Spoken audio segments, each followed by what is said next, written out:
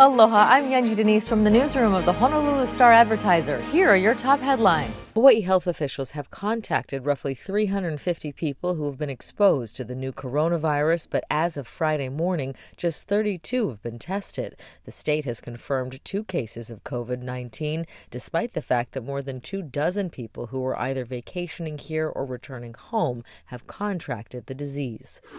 The Queen's Medical Center opened two disaster tents in its ambulance bay to evaluate patients for the coronavirus while keeping them separated from emergency room patients. Anyone with a temperature or other symptoms is not allowed into the hospital.